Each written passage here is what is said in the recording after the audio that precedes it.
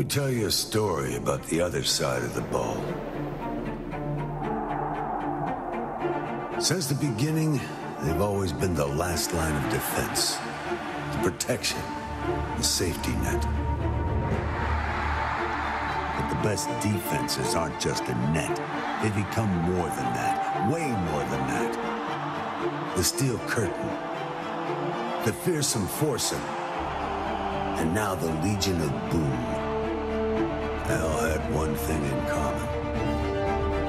They shut down their rivals by imposing their will. Make that transformation. Shed every block. Defend every pass.